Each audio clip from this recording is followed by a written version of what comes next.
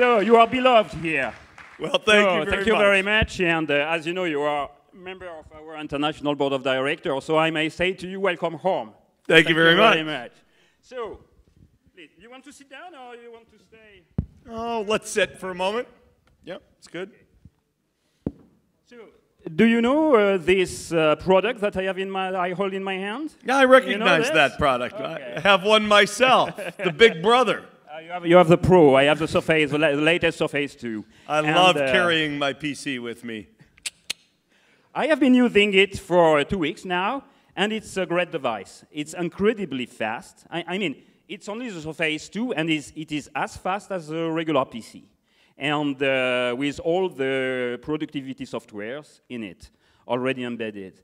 And, uh, and so my first question is, Microsoft is known as being the leader and, in a way, the inventor, uh, you and Bill Gates, of the software industry.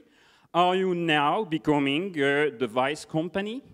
Like, uh, like uh, sorry for that, but like HP, for instance? Well, uh, I would say something slightly different. What I would say is, in a way, yes, we've been a software company our whole history. And yet, if you think about it, really for much of that time, we've been involved in defining the future of a device called the PC. As much as almost anything, uh, Windows defined a PC and where it was going. Uh, what we have found as we move into new device categories, where certainly we are, we're not the first in the markets, uh, being able to think about and to innovate across hardware and software in a very agile way, whether that's in phones or in tablets. Uh, we will do some hardware. We continue to, to love HP, Dell, Lenovo, Acer, Asus, Samsung, dot, dot, dot, dot, dot, and many others. Uh, but we will do more hardware, uh, as we have with Xbox and uh, Surface, and with a little approval, phones with Nokia. Okay, we will, we will we'll speak about phones. We'll talk about that. And uh, so it's a great device. Uh, to be uh, frankly, I think it's the best one on the market. Well, thank you. And uh, the price is very fair. It's less than 400 euros. It's uh, 339, I think, for the, the, the low end. And uh, so it's a very good device, but how can you make this a bestseller? Because as you and me know, and everybody here in this room, uh, having the best device is not enough in this industry. You need something that is not def- that we cannot define. And wh- what is your plan to make this a bestseller before Well- the, the iPad? I think there's, there's a couple or three things to think about. Uh, number one, uh, what you really want to have is a differentiated value proposition of some form. And I think uh, there's no doubt that if you want the device that will make you most productive, uh, I will argue that's the Surface. Now, there are people who will say that's not what I care about. I just want something very low end to watch movies, and there will be other solutions. But you need a differentiated value proposition. You need ongoing innovation.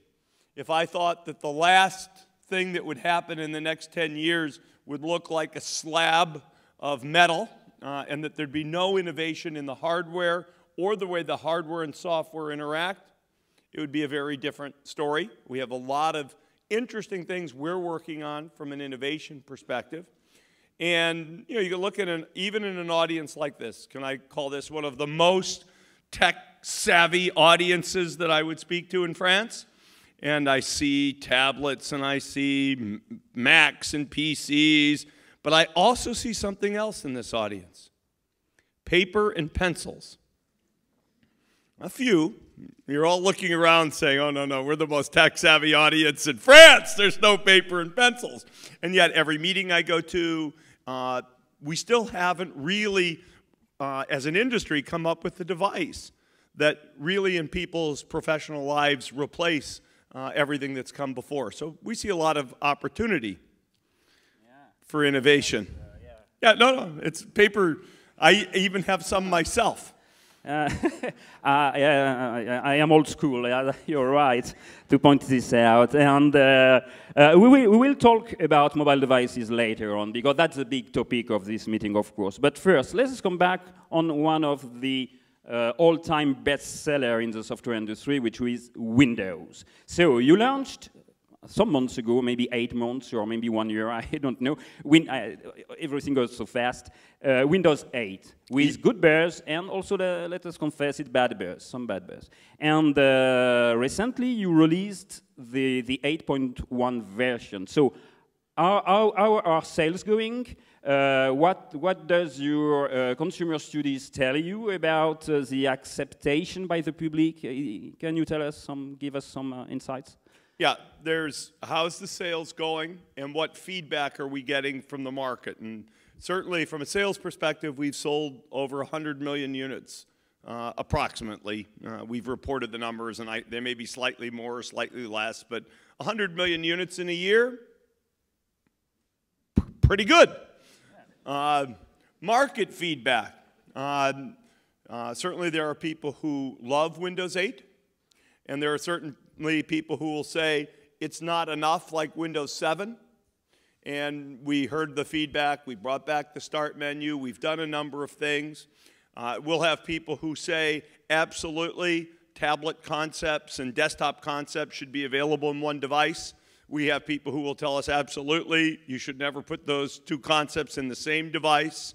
Uh, we get all that kind of feedback because what we did with 8 was, I would say, pretty big, pretty bold. We're, we listened to the feedback. We've made a lot of responses in 8.1, uh, and we'll continue to move forward. So uh, I would call it controversial, if you look, but loved by some and with some feedbacks. I'll also say that still, uh, with our enterprise customers, Windows 7 remains the most popular, and we're working on all the feedbacks we see coming in from enterprise people about making 8.1 a product they think they can put into their organizations. Uh, are you satisfied with the sales numbers?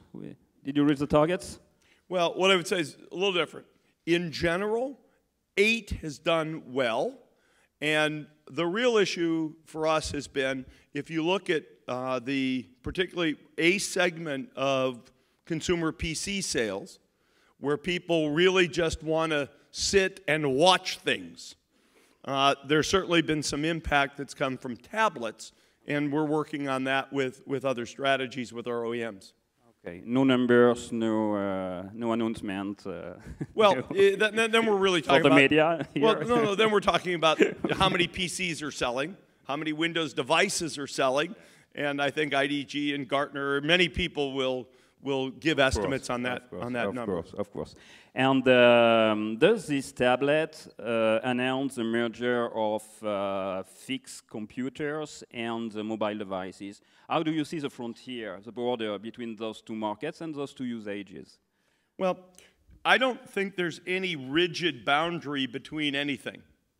Obviously, a phone is different than a tablet, but then you've got phablets in between very large screen phones. Uh, there's no firm line on when you stop using one product and start using the next. There's no firm line, actually, between tablets and PCs. This is a PC. This is certainly a PC in every sense. It runs every program. It's got an x86 in it. Uh, even when you go to bigger devices, we now make uh, an 80 uh, inch tablet. 80 inch tablet is a very big tablet, of course. You tend to hang them on walls, but I think users do like the idea of having some family characteristics. They can get access to their data, they can share in certain ways, they have access to certain applications. So we're working on it as if it's a family with no firm line between the categories. Okay, okay. So I may work on it as on a regular PC, as I would on a regular absolutely. PC. Absolutely. Absolutely. Okay. Word, Excel, PowerPoint, Outlook, Lync, it's all there. There, are, there, are, there have also been a big change in the model of, uh, in the business model of Microsoft. That's the launch of the, um, the Office Suite uh, 365. And uh, can you tell us a bit more about that? Well, there's no question that the future of of software of all forms is to be delivered as a service from the cloud, whether it's to the enterprise or to the consumer. The consumer market has gone more quickly, but now the enterprise market is moving.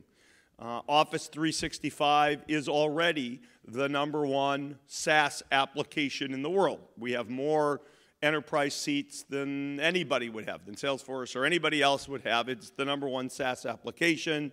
It's moving tremendously well. It's obviously got a different business model because we have to have data centers and servers, and you know, it's different than handing somebody a DVD. Uh, it's a very different experience, a different economic model, but we're very excited about what it means for growth opportunities for us. And how do you see the, the balance between the, the, sale, the sale of licenses and the sale of 365 uh, products? Well, in percentage.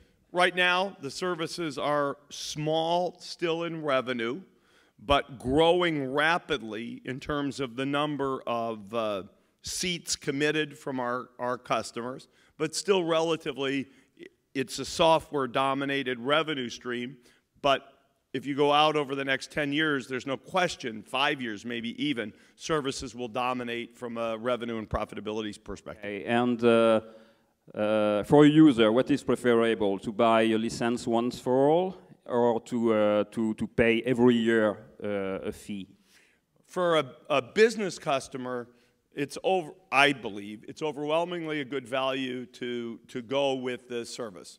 It's constantly updated. The IT department doesn't need to deploy servers, and we do all of that for you. For a consumer, I also believe the service is the better value, but some consumers like to pay once and, and be done. And we respect yeah. our customers' interests. That's mine. That's mine. I own it. You own all the office software that's exactly. built into here, and we love you for that. And let's, let's talk now about the, um, the smartphone market. Um, you, you finally acquired Nokia or part of Nokia. Can you tell us why? Why, why you did so? Because it's because you, now you are a device uh, actor, an actor of the device industry. And what did you buy within Nokia exactly? Because it, it was not completely clear for everybody, I think, not for me. okay. Nokia's got a lot of pieces. Uh, they have a mapping service we didn't buy that. Uh, we did do a contract to be a good customer of their mapping. So we are a very good customer of their maps. We did not buy maps. They make base stations for wireless networks. We didn't buy that. Uh, they have a huge patent portfolio. We didn't buy it, but we paid for a license for that. And then they have a phone business, both feature phones and smartphones. We bought that. Thank you very much. In, in, you know, yes, and did you buy the division which recently launched the Nokia tablet? As I well? You yes, did. we did. You we did. did. So, so you have two products in competition right now. We do, except we don't own Nokia yet. The European Commission, for example, has not approved it. Okay. So they have one, and we have one. Uh, with luck, we'll have two, and when we have two, I just hope they're both selling very well, and then we have opportunities to think about it. Actually, today, if you want a um, tablet with Windows RT in it that uh, attaches to cellular networks, the only product that does that is the Nokia product. Okay. Uh, there is another sector in the internet, I mean, a, um, a domain in the internet field, which you are not an actor of, but maybe you, you will tell me the contrary. It's the social networks. What is, there, what is your strategy in social networks? There is Twitter, there is Facebook. Where, where is Microsoft? If, if Microsoft should be somewhere in this domain. Well, we're actually an, an active player in what I would call aspects of social networking. Uh, there's no firm definition of what a social network is, but everybody would say Facebook is one, and everybody would say Twitter is one for enterprises that want to be have social networking inside the company. We've got a very successful offering called Yammer. Uh, most people would not refer to uh, products that help you communicate point to point like Skype as a social network. And yet, if you look at the 300 uh, million people who use Skype, they use it to socialize, there's no question. Uh, and we would certainly say it's part of the social fabric of the, the way people work and live. Uh, we like kind of our footprint. We're going to grow the capabilities that you see in Skype, uh, we're growing the capabilities that you see in Yammer. Uh, we think Twitter's doing a fine job. And yesterday, I guess you would say the world agrees that they're doing a fine job uh, at what they do, Facebook at what they do. Uh, Google's tried a little bit, uh, but struggled against Facebook, I would say, with Google Plus. But that's their, that's their fight to fight, so to speak. And uh, how is Yammer doing right now? What about the sales? Is the, the are the enterprises uh, using it more and more? Yeah, actually, it's doing doing quite well. Uh, we don't disclose specific sales results No. because it's part of other contracts. Okay. But remember, Yammer has a free model. Anybody can use Yammer, any company for free. And it's only if the IT department wants to put on some extra uh, controls and protections that you pay for it. But it has grown dramatically in the year and a half that we've owned it. There is a question that your French team wanted uh, that I ask you, but I do not really understand it, so I will just read it. Our French team gets to pose a question to me anyway. the way businesses and customers interact is changing, okay, in the digital area, sorry. How can companies harness technology to improve and evolve the customer experience? Do, Yeah. you, do you understand the question? I do. This is, I do.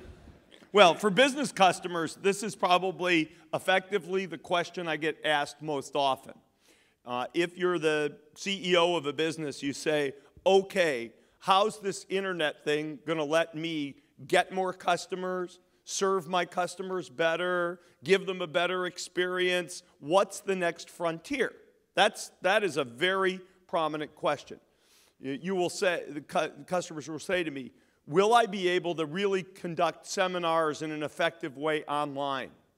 Will I really be able to use big data to tailor what I show individual customers who visit me to, so they see exactly the right product for them and not a bunch of other products?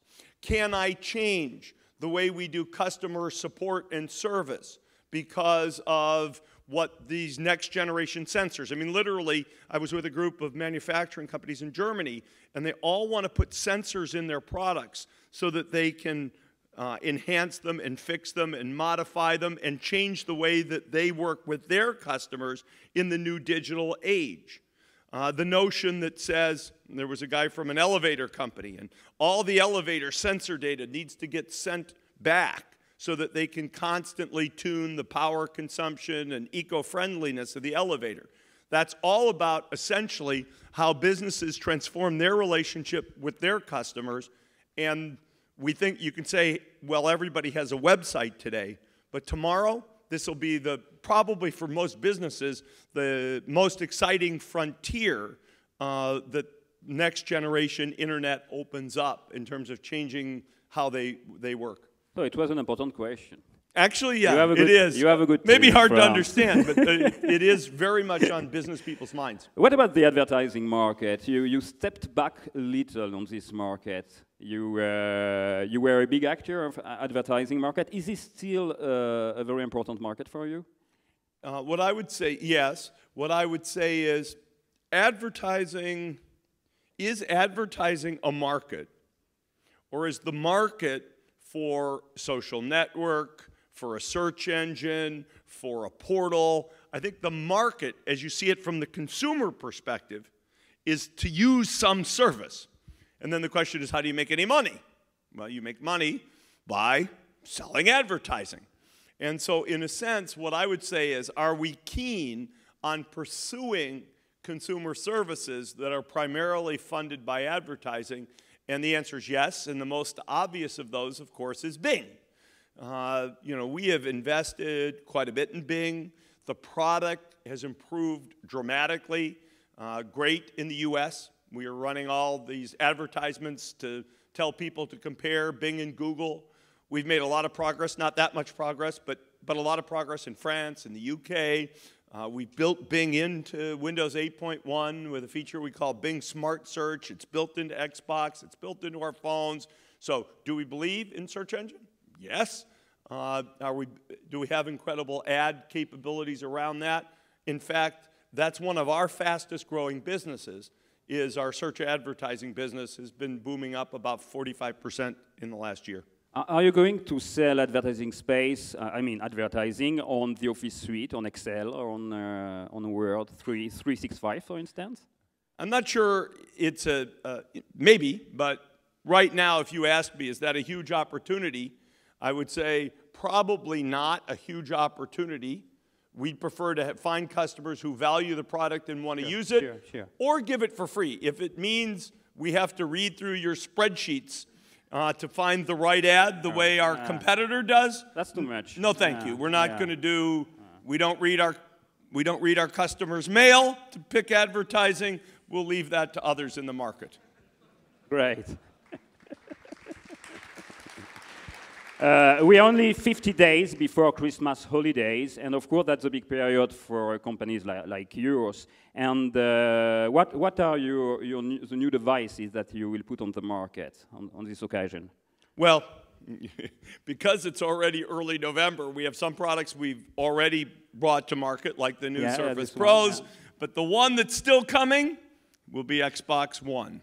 Simply the best gaming experience possible for Christmas 2013.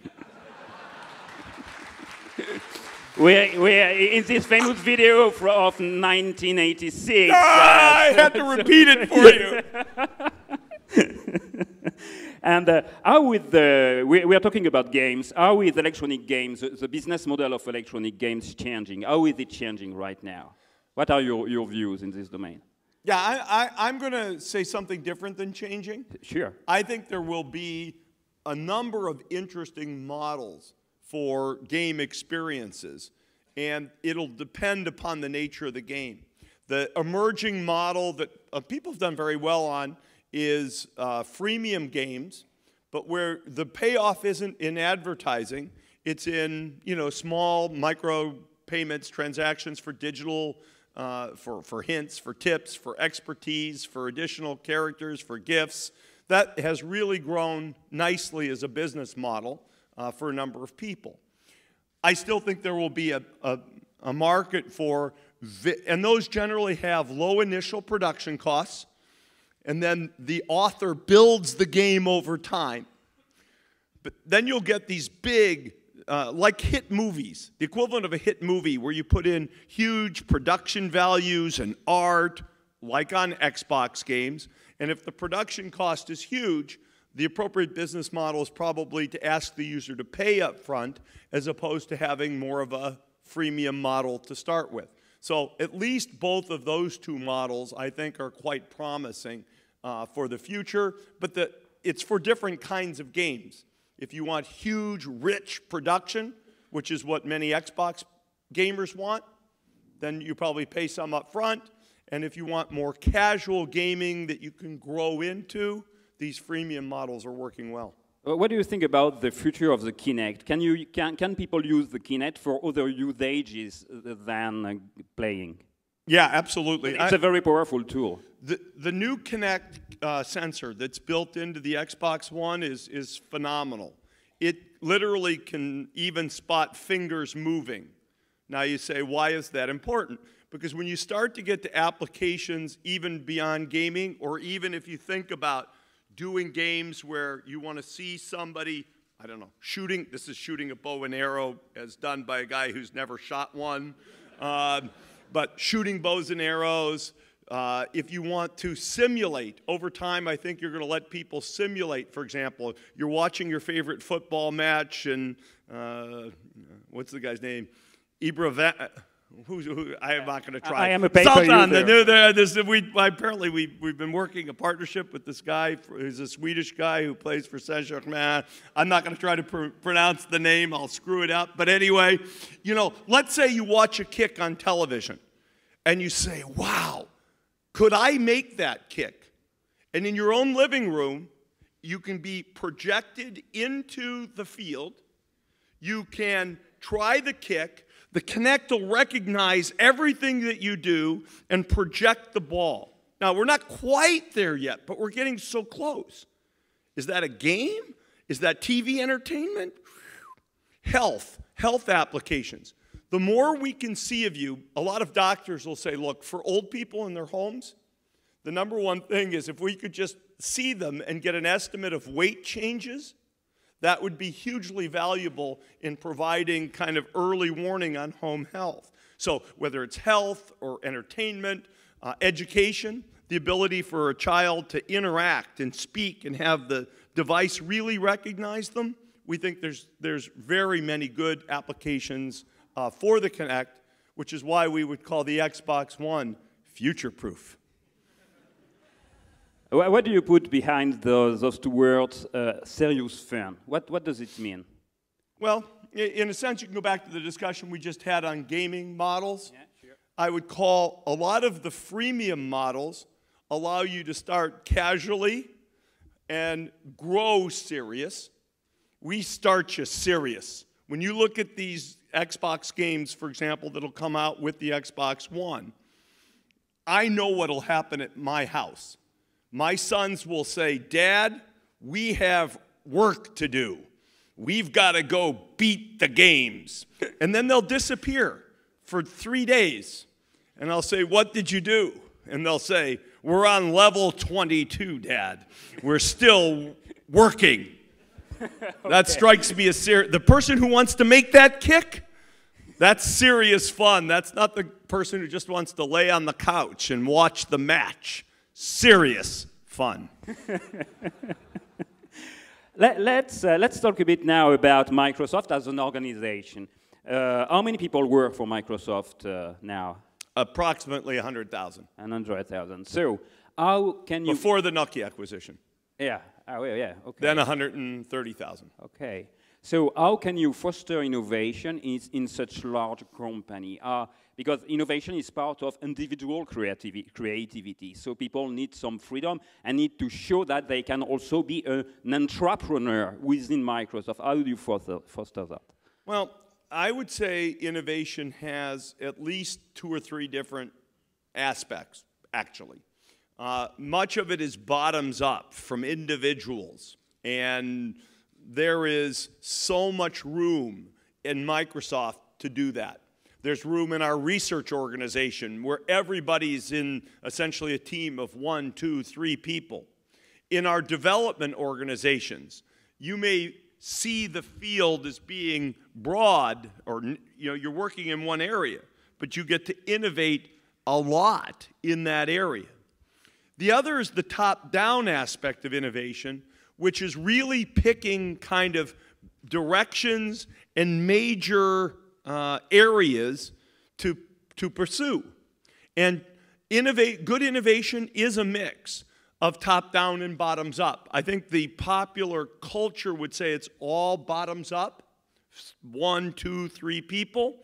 And yet, if you look at sort of some of the brilliance of, of, of some companies, it generally comes because a founder or somebody said, We're going this way and then got everybody to innovate along that path. And some of our success, some of Apple's success, I think, isn't all from the bottom.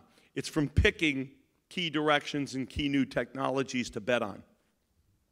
Let, us, let us talk about you now, Steve Ballmer. You joined Microsoft in 1980, correct? Uh, but you knew Bill Gates a long time before and because you, you were at the university with, the, with Bill. And, uh, and now you're going to leave the company. Is that sure, 100% sure? Are, are, are there some chances that you may stay at Microsoft? Well, no, I don't think so. No? I love Microsoft.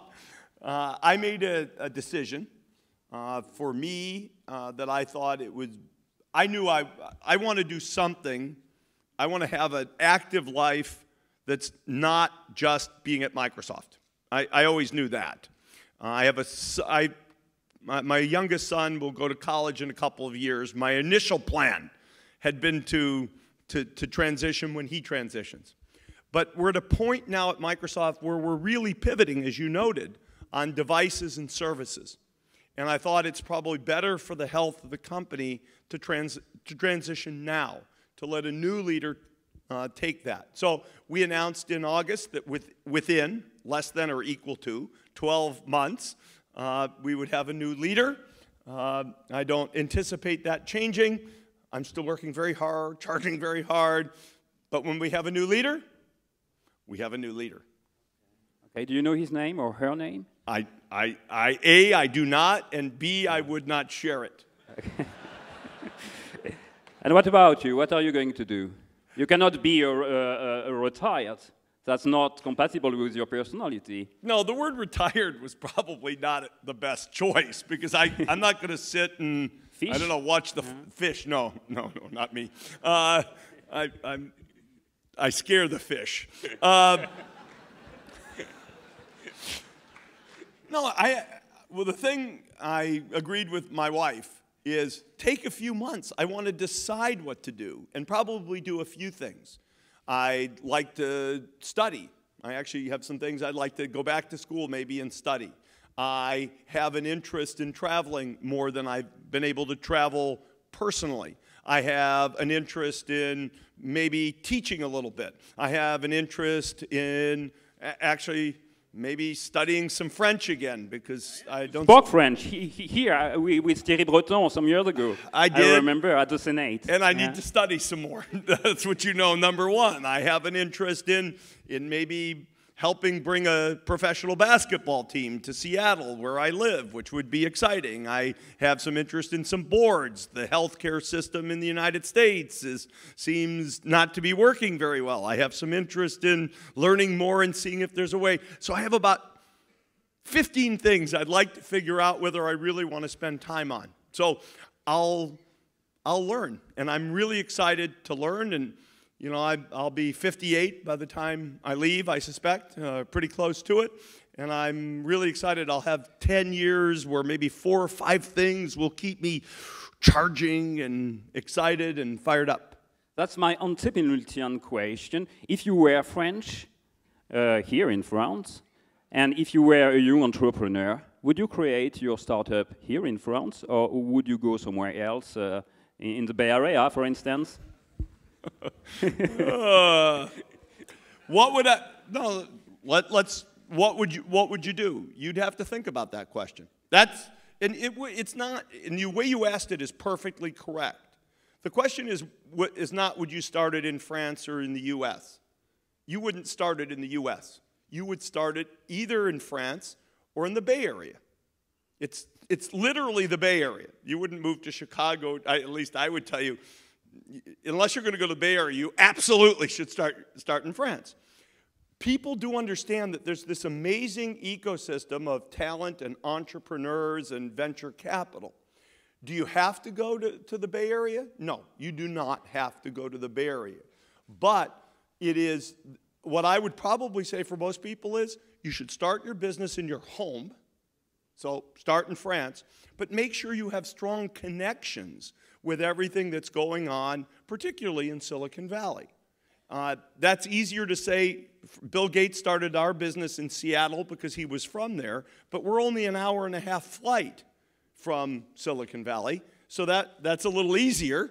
But everybody who starts a, a tech company will want to know what's going on in the valley, may want access to capital for the valley. So I don't tell you to start your business there, but don't put your head down. See what's going on in the world, and particularly, I have to say, the world of Silicon Valley is very important. Steve, I promised your team to let you go at 10:15 for your other appointments, and my last question is: Will we stay in touch? Absolutely. Steve B at Microsoft.com, Thank at least for much. now. Thank you. Thank you very Thanks much. very You're much. great. You're the best. Thank you.